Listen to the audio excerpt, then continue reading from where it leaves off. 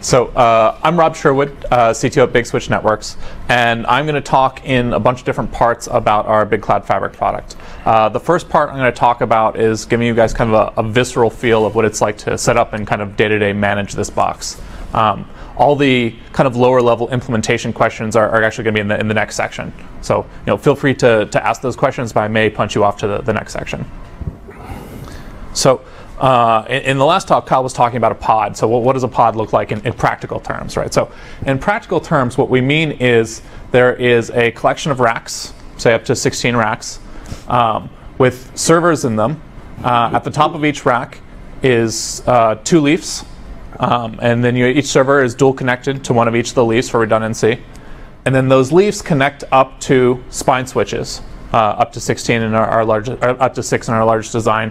Um, the leaf switches are 48 by 10 gigs with six 40 gigs going up. The spine switches are 32 by 40. This is all standard Broadcom uh, bare, uh, bare, metal switch hardware.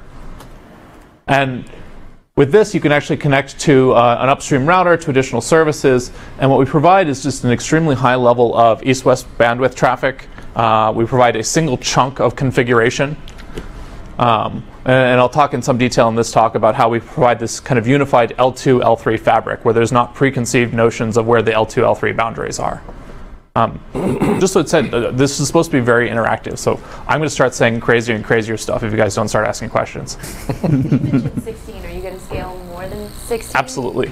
Um, there's this uh, concept that uh, you, you, even see on the HBO show Silicon Valley of uh, minimum viable product. Um, what, what, we're looking at right now is 16 is the, the minimum viable product. And that actually ends up being a bit of a, a, balance between how big do you want it versus how big do you want a failure domain to be. And so that's kind of a sweet spot both for where the hardware is uh, as well as, you know, how, if you lose an entire pod, and that's possible, you know, how big of a blast do you want that to be? More questions? No, I was just thinking about that because, you know, like 16 racks typical current densities, that's a lot of it's a lot of systems. Yeah. And yeah, I'd probably be more concerned about the failure domain rather than wanting to put more and more and more systems in there. I'd be more thinking actually I want to chunk it up a bit here. Well, and so that's why you know at least for for our purposes, 16 is big enough so that's not really a concern for people. Mm. Um, so do you want a failure domain bigger than 16 racks? Most customers, when you dig down into it, they come up with, oh, oh no, no, no, I don't want that.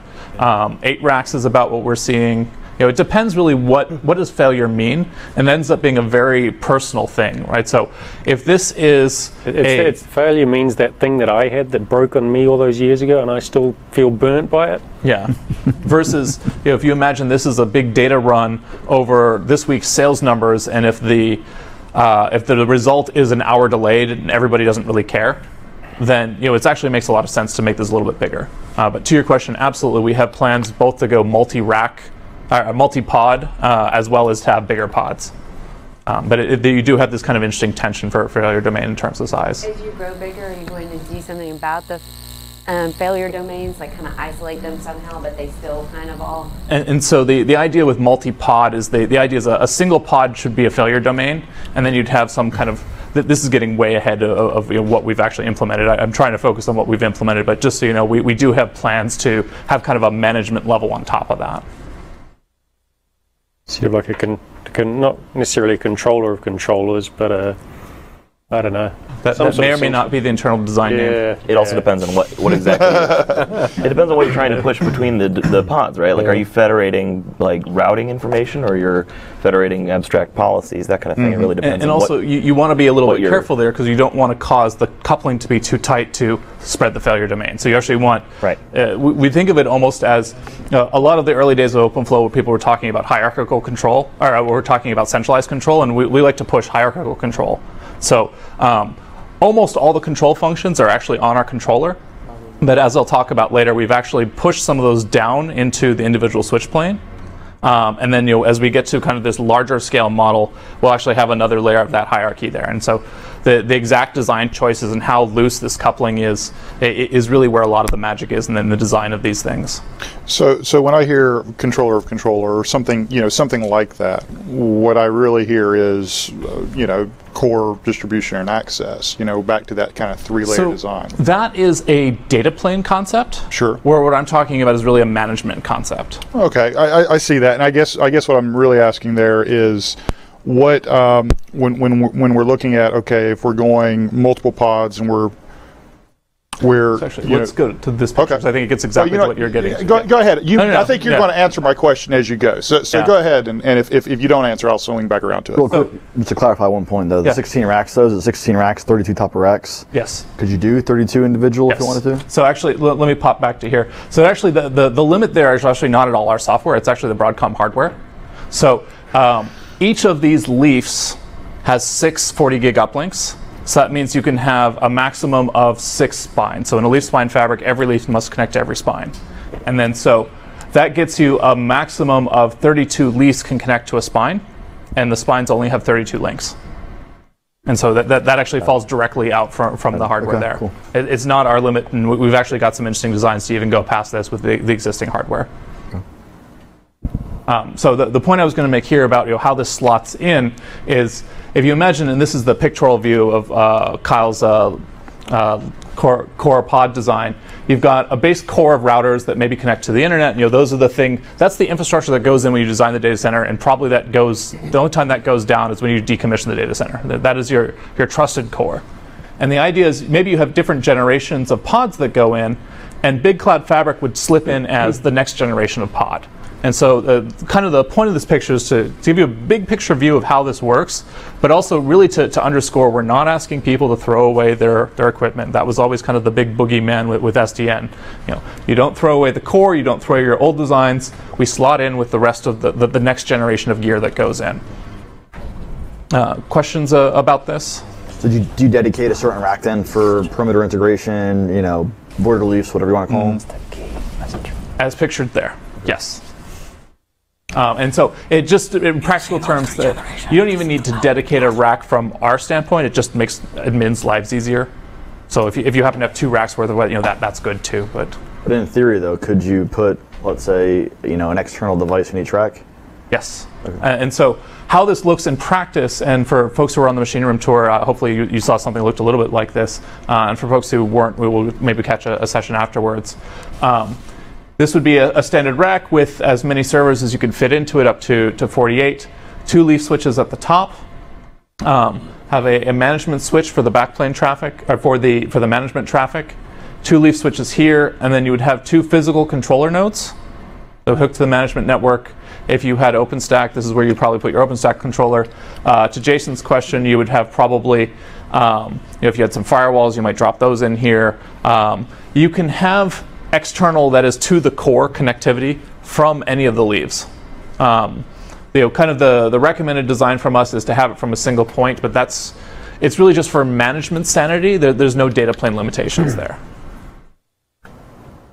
Other questions along these lines? Um, so one of the things that people get scared of when they hear uh, you know, the, the, this Android model where you might get the hardware differently from the software is, well, how do I do the hardware-software integration? Please, dear God, don't make me use Z modem to install more software on more, more switches, right? You know, that, that's just horrible. So one of the things that we have is something that we call zero-touch fabric, which is as the switches turn on, so they would ship from a company, um, you know, something like Accton, something like Dell, uh, with a very small piece of software on it. It's an open source piece of software that I'm involved in with uh, Open Compute called ONIE, the Open Network Install Environment. And as you turn on the box, it actually will net boot from the controller. So the controller is also an ONIE server and actually downloads dynamically both the, the actual image that runs on that box. Uh, Switchlight is the, the operating system that we've built in house, uh, as well as all the config, the dynamic information that it needs. Does that do um, like ongoing software management of those Yes, as well? and so I'll actually have a, a couple slides talking about doing a, a live upgrade. Cool. Yeah, because I'm thinking, you know, I'm like rolling out, progressively rolling it out and whatever with minimal disruption, that kind Yeah. of thing. And, and so uh, it'll come back exactly to uh, one of the things I, I didn't mention is the way we recommend hooking this up means that there's multiple paths to everywhere. Um, and these are actually active active connections everywhere. And so if you lose, you can actually lose one link out of every server and actually still keep going. You lose capacity, not connectivity. And, and that'll come back up when, when we hit upgrade. So the workflow here is you, you know you cable it up, your dual top of racks, three switch spine. In addition, then an out of band management switch, controllers there, Yeah. switches there, and the auto discovers as you boot up. exactly. You know, it's uh, the the protocol looks like uh, a lot like PXE Boot, but it's a little bit more complicated than that. I, I'm happy to talk to you about you know, how it works, but For what you're seeing, just curious in terms of betas and tests. Those out of band switches, are you seeing you know a white box trend there as well, or just you know an off the shelf you know name brand but really cheap switch?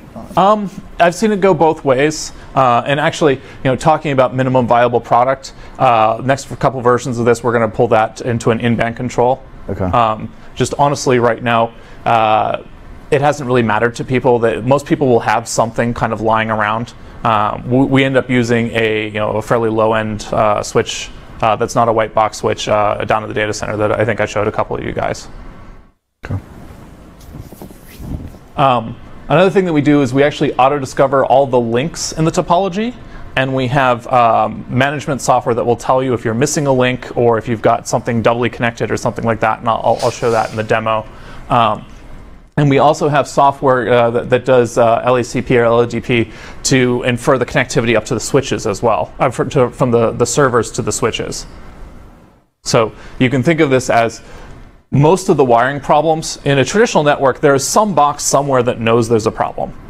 The question is, do you as the admin know to go query that box? You know, if, if server 15 is missing a, a- an uplink to, to switch number five, you know, you could go iterate through your entire network in a regular manner and try to figure that out, or you can have a centralized controller that continually pulls that information and reports it back to you you know, uh, maybe stepping back a little bit, all of the stuff that I'm going to be talking about here, in theory, if you could type infinitely fast and never make mistakes, you could actually do a fair chunk of this on your own.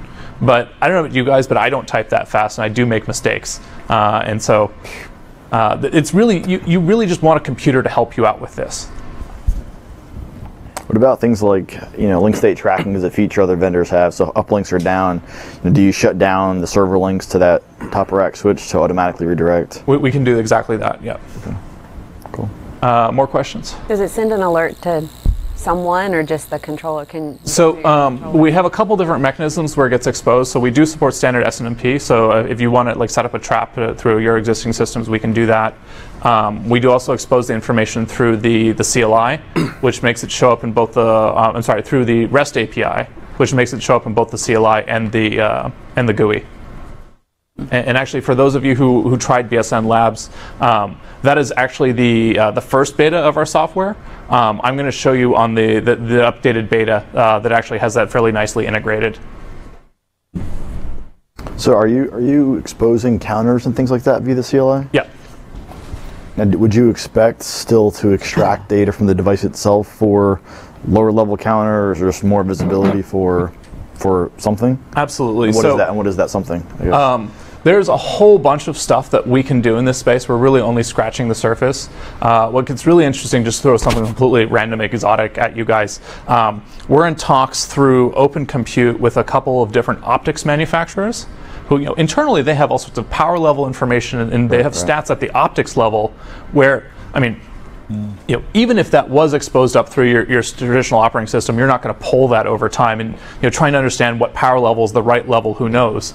But you know, with their their expertise of understanding what's the right power level and what changes over time, and the centralized controller to aggregate that information, the, the, the belief is, and we have to proof this out, but just to give you something to think about, we could actually infer when cables are starting to go bad before they do, or if you've got a crimp, you know, if this cable is maybe crimped a little bit too far or, or something like that. And those are the really thorny problems. Like, you know, I'm losing one packet out of 100 and I don't know why. Right? Um, so actually, let me jump to uh, the, the first uh, of many demos here. Uh, I'm going to show our graphic user environment. I'm going to show what it looks like to, to actually provision this uh, the first time and um, see, take a look at some of the errors that we get out of the switch when we do it wrong.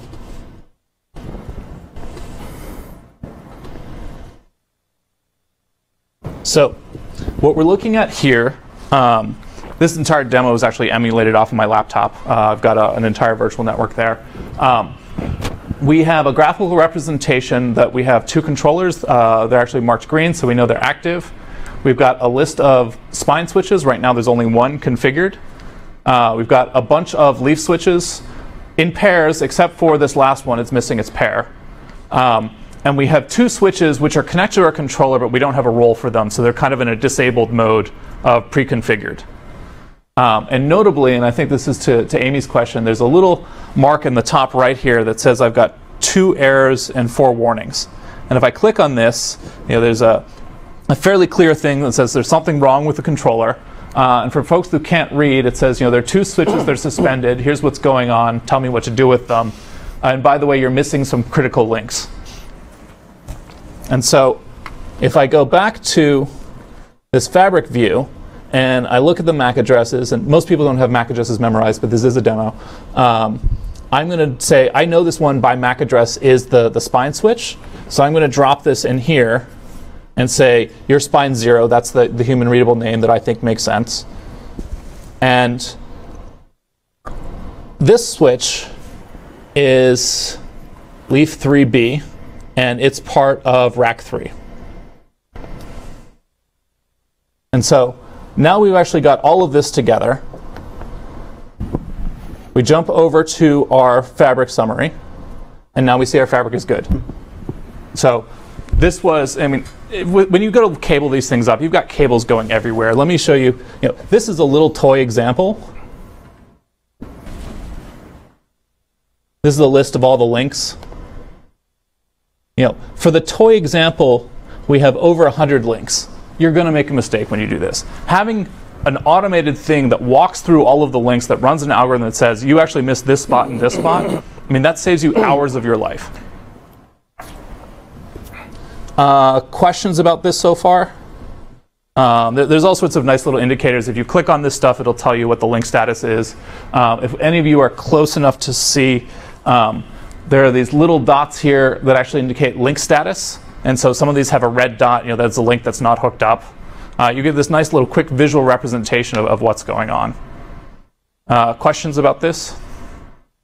So kind of related to this, some people watching this might say, but I don't want my network to look like a leaf spine. It's a special snowflake that needs to look this other way. What, how do you address and, that? And I tell those people that you know, to, to go forth and prosper, that there are many existing network tools to, to help solve that problem.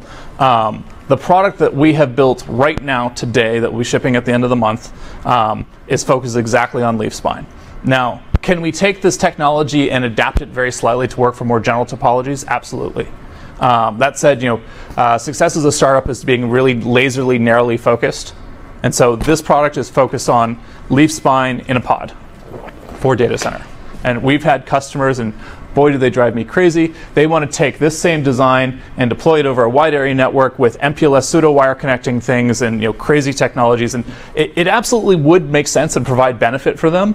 But you know, you know, the success in, in, the, in business is pick one thing and do it well. Um, we've picked two. We'll get to Big Tap in a second. But uh, at least for, for this case, this is the only thing we're, we're targeting. More questions? You want to see more slides? This demo stuff is crap. what is your take on, on mid-market, you know, smaller enterprise? Because, you know, Google, large scale, bringing it down to the enterprise, you know, makes sense, and that's where a lot of the market traction has been over the past, you know, four years, you know, in this space. But when you look at it, sort of, you know, all-in-one solution, you know, 16 racks is still fairly large for an average customer. You know, is there any thought on trying to, you know, target that sort of market? So I, I, like to chop the market up kind of grossly into three chunks. There's kind of like the, the hyperscale people, the Facebooks and Googles of the world. Um, we try to look at what we're doing, what they're doing, try to learn from them, and you know, honestly, I try to feedback what we're doing to them. But we're never going to sell stuff to them. They have 500. Like one of these companies, I, I, know in some detail, has like five or 600 engineers working on this. You know, we've had about 50 plus engineers working for four years, and so that, it's clear that they're kind of ahead of this. Then, kind of the the next is large-ish enterprise, so you know, say Fortune 1000, something like that. They're the people who I think are maybe the biggest target of this. And that, that can actually go into probably medium enterprise. And at the small enterprise, where anything larger than a single rack, it, it looks starts to look a little bit big for you. You actually, frankly, don't need this level of automation. You can keep all the bits together in your head and do the mental calculus to jump through. Well, how many ports do I need to enable this VLAN? Two. But it's still it's, it's that same customer that bought Meraki over the past couple of years, and they built a great niche like in that market. And in terms of like turnkey solutions for data center, like this is that for potentially the same market. You know what I mean? So, um, one of the reasons why I'm CTO of this company is that the, the technology is so cool. There's all sorts of things we can do with it, um, and I absolutely want to do all of those things. Uh, at the same time, you know, we need to be very practical about the first thing that we're going to do is X, and the second thing we do is Y. That said, I think you know the notion of centralization, the notion of having this disaggregated software, uh, the notion of having different topologies that actually, you know, at a topology level, you can grow with the design. Uh, that can be applied to the entire network, access, campus. Um, uh, we, we will talk about LTE like later. You know, that absolutely these themes can be replayed. But in terms of the products we're shipping today, very na- narrowly, laserly focused. Control network is in band. Uh, this is out of band. So uh, the, the exact wiring is the switches actually have a physically out of band management port, and that would go to a dedicated switch, which would then hook to the controller. So there's a dedicated control network that you need to build Yeah. between controller and each component here. Um, so what's your take on links that fail internally and how that would affect everything? What's I have your- an entire slide all about that because that's a, it's a really important topic. Uh, if I can put that off for, uh, it's actually Yeah. towards the end of my talk. Yep, But very good. uh, other questions? Oh, this is not a slide. Ah, you're kidding me. All right, so that was the demo that I just showed. Um, all right, so that's how you set up a fabric. Um, next thing is how do you manage it? So if you imagine, you know, once you've got this up, you actually have this kind of amorphous cloud of all your physical machines, all your virtual machines, all within a pod. So what, what do you want to do with this? And so what we found most people would that we want to do is chop up into L2 segments, chop into L3 segments, apply some policy. This section can talk to this section, this section can't. You know, how do you chop this up? And so the, the management primitives that we have, uh, we have something that we call a logical segment. It looks a lot like a VLAN. Uh, and you can say arbitrarily through the fabric, this port with this VLAN tag, potentially untagged, off of this switch, goes into this L2 segment. And you can kind of pick and choose them arbitrarily. And so once you have an L2 segment, you can create a couple of them, and then you can put them, you can L3 connect them with a concept that we call a logical router. So a logical router is a, a management thing that works a lot like your intuition of what a router is. It's not a physical thing. There's not a bottleneck. There's not uh, hairpin routing. Uh, I'll talk about how the, we implement the logical router in the, the next part of this talk. But the cool thing here is this is actually an isolated stack. So somebody else's L2 domain and somebody else's logical router are completely isolated. Policy that you apply to one is not does not affect the other at all. You know, uh, hinting a, a little bit of how this is implemented. Each logical router corresponds to a VRF, and so you know you, you get, kind of get VRFs for in, in a very easy, intuitive notion here. is this open flow slicing underneath? Uh, no, so it's actually yeah, we're leveraging the VRF hardware direct from the chip.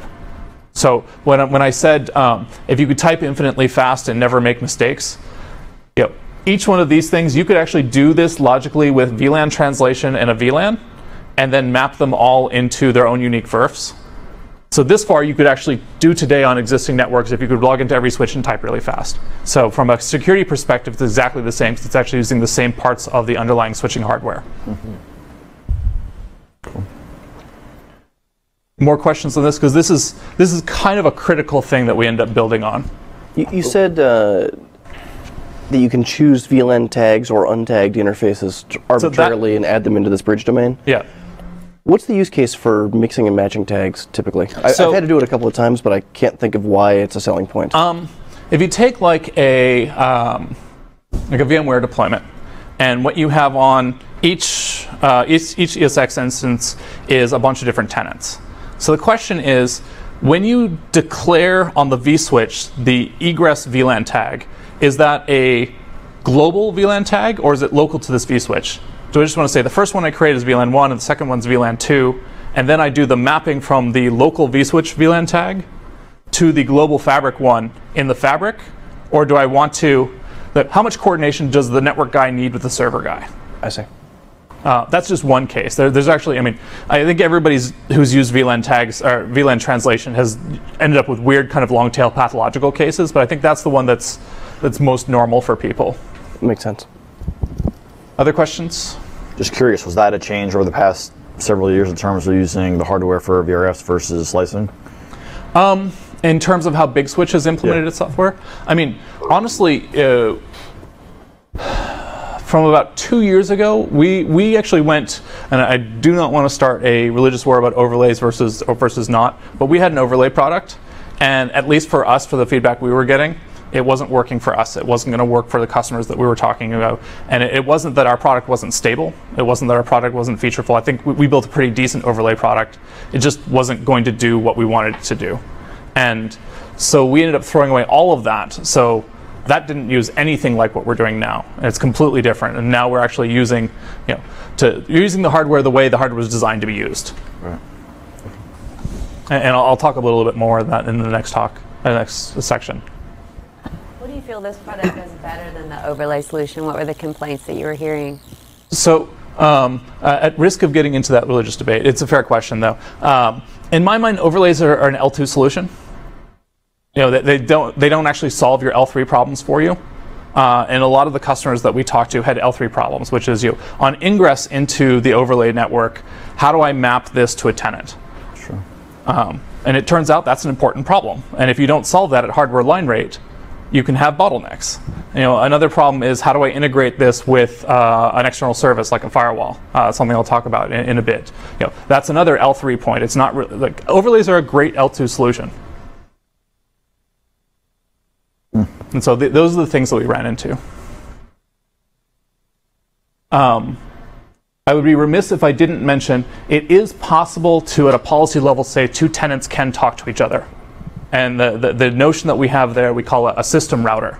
So you can imagine, you know, the, the mental model we hope customers have is, you know, in a multi-tenant world, what you'd really, really like to have is to be able to magically pop up, like wave your wand and make a, a router appear and give each tenant its own router. And then if you really wanted two tenants to talk to each other, and maybe that's a weird use case, you'd have like another tenant that you would actually physically hook the wires up between them. And so that's actually the, the management interface that we have here. So even though it's one shared fabric, it's one physical piece of, of, of hardware, um, that's still the, the management primitive we give to people. So you give each tenant its own router. Routes in that one tenant don't affect anyone else unless you say, I want you to connect up to the system router. I'm trying to think about this since you're using the you know VRF under uh, that hardware underneath. To go between, then you're using that system router. So are both are both So the, the, the magic here is the system router is in its own VRF, and we do a lot of the, the monkey tricks underneath that if you want to have connectivity from tenant A to system router to tenant B, Right. we effectively do what looks a lot like route propagation between them. Yeah, my question was, okay, going to be more around, you know, the best time, you know, I- but best place I ever heard this was, you know, from another company a couple years ago. It was just, you know, where's the default gateway? And I was like, oh, everywhere but nowhere, you know, in terms of who's hosting, you know, that MAC and IP. So I guess, you know, for the logical router and system router, do they both exist sort of pseudo everywhere? Yes, uh, I have exactly a slide on that in the next talk. Let me come back to that if that's okay. So actually, let me just show you what the what this looks like in practice for how you use it. I'm going to very very quickly create a tenant, a couple routers, uh, a couple logical segments, uh, and assign some physical ports to them, just so you guys can understand the, the workflow. So I go to our handy little tenant bar here, hit the plus. Um, is that any better? Uh, create a tenant called green. I'm going to create two logical segments. Think of this like um, quite often what you know a, a use case that people use is uh, something like uh, multi uh, multi-tiered web applications. So say this is a two-tier web application. I'm going to throw server one in this VLAN. I'm going to throw server two in this VLAN. Uh, these things can all be auto-populated through LACP. Uh, and in fact, we've got this nice trick with LLDPs that if you put an LLDP instance on the host, it'll actually even push out its host name. So that can all get uh, auto-populated into here. So that now I've created one logical segment, create another logical segment, put another two servers into it, and this ends up being not the switch interface. Sorry. So uh, the port groups are, are, are a notion of lag. So these are just lagged up servers. If I wanted to, I could actually just insert uh, a, a, single port, but you know, lags are better. And those lags are it's definitely multi-chassis. They could be anywhere in the they, fabric. Um, so we have a, a, slight restriction that we have. Uh, you can only have lags inside a rack. Okay. But you can have them in any racks uh, across any connection of ports up to I think it's 16 ports. So let me, since you asked, let me pop up our little um, display here. So if I wanted to edit a lag, um, I don't know if you can see this. So we've got two leafs, leaf 0A and leaf 0B. These are the two leafs in the same rack. Um, and the server, uh, server 1, is hooked up to ETH1 of the ser- of the first switch and ETH, basically it's ETH1 of both switches. Mm-hmm. Um, and I happen to know that these ports are in use for other things, but if you wanted to just so maybe the, the the clearest thing I can say is we actually don't differentiate between lag and mlag. They, they both, I mean, and that, that's why I brought it up. Just yeah, to, yeah. I mean, it's it's something that I forget actually causes problems for people anymore because we've been doing the same thing for so long. I mean, the the model, and I'll talk a little bit more of this later. Is these are these switches are more like line cards, and you know, in a uh, a multi-line card switch, you wouldn't expect to have to differentiate between lags on the same line card versus lag, lags across line cards and, and we don't either for, the, for those same reasons. And so the restriction to a rack is really because of the very specific topology that you're building. Yeah. Not any limitation of any sort. It's just and there are some very nice failover tricks that we can actually we can uh, make failover times much faster as a result of that assumption. Um, but you know, in general, you're right. There's nothing that would stop us from going multi multi rack. Is there any integration to things like vCenter to see which VMs exist in which It's literally on the roadmap. Uh, we do have integration with uh, OpenStack right now uh, to do that same thing. Uh, it just honestly becomes a you know, what customers are asking for first. Uh, and while you know, yes, vCenter has a, a, much bigger deploy base than OpenStack right now, if you look at what are going, people are creating new racks um, it, it's actually interesting. You know, OpenStack is great. Uh, it's useful for us, but it's also a great way of identifying a customer who's willing to try something crazy. Uh, so if you're willing to try OpenStack, you should be willing to try us. we're, a lot more stable than that. Uh, more questions on this. So I guess you know I, I, I, didn't actually say the tada of the, the demo, but you know the the tada is I, I, very quickly collect, collected a bunch of switches, threw them in some VLANs, and now they're routing between them. And now I've, I've, strung, I've, I've, put together a tenant. Like, even before I went on my lag tangent. So, what was that, 30 seconds? So, a question then. If you had um, two pod build outs and you had two tenants, one in each pod that wanted to communicate, how would that look from a topology level? Do you just interconnect the spines or do you connect it via the kind of communications? So, pod? actually, and you know, uh, thanks for, for calling this out. Um, you as the network admin, the guy pushing the buttons, don't have to worry about that. And so what I actually did here, and I didn't say this properly, the first two servers are in one rack and the second two servers are in the other rack. And the controller actually figures out all the backend spine connectivity, all of the, really think of it like the VLAN trunking and all of the routes that, that have to happen. We end up creating like a slash 32 for each server and we, we, we populate that route through the system. And so all of that stuff that you're kind of used to doing, you don't have to do anymore. And so if, if you wanted to, to span a VLAN between racks, it's as easy as clicking what I just did. So I mean um, between completely separate pods. So if you have, oh, okay. you know, one spinal leaf network and another one, yeah, um, you think right, my tenant's grown, I need a little bit more capacity over here. How would I then get that connectivity? So for that type of thing, what we'd recommend is you can actually create a bunch of lags between them. Um, and then uh, using the VLAN translation features, you know, mark uh, if you want to span a tenant across them, you can you know have a VLAN 100 mean tenant number, you know, tenant green, like I said, on one side, and have it come in on the other side and span that way. Would you do that at the spine level, or would you do it via the via the services kind of? You would do it uh, through any leaf. Ah, okay. Yeah. Uh, and so, uh, in case people ask, and, and, you know, I have been asked this before. I hope this doesn't scare anyone. Uh, yes, you can run ECMP over lags, uh, and so if you really do want like 256 ports of connectivity between two things, you can do that. Anybody actually do that in practice? I'm curious. Like, yeah. So some people definitely do do that, and it's actually an important use case for people. They go, "What? Only you know 16, you know 160 gigs between something? That's not enough. You know, I, I- I need my two terabytes."